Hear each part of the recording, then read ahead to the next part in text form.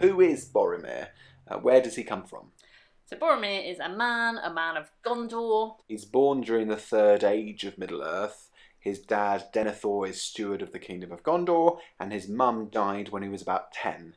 He's in his early 40s around the time of the main events of The Lord of the Rings, and he has a younger brother called Faramir, who's about five years younger, I think. And Boromir is very much Daddy's favourite. Yeah, yeah, very much so.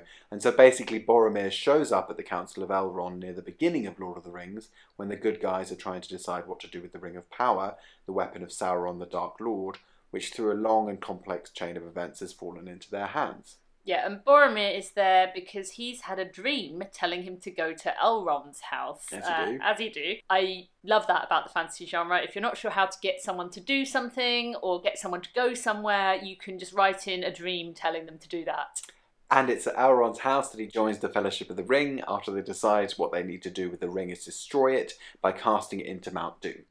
And Boromir is more or less on board with that idea to start with, but as they travel together, he starts to question the wisdom of sending tiny, childlike hobbits into Mordor to destroy the most powerful weapon of war that has ever been created. yeah, officially, it's like the ring kind of tempts him and puts these thoughts in his head about you know, maybe taking the ring and going off to Gondor to use it to protect his city. But I don't know, I feel like it's also not a totally mad piece of logic to think that the plan endorsed by Gandalf and pals is a bit of a long shot. Yeah. So unfortunately, Boromir tries to take the ring from Frodo. Everything gets a bit chaotic and he gets shot to death by orcs.